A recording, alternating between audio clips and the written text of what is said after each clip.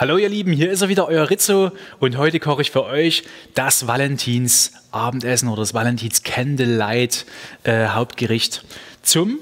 sogar auch abholen, mitnehmen oder wie auch immer oder nachkochen, wie ihr das möchtet.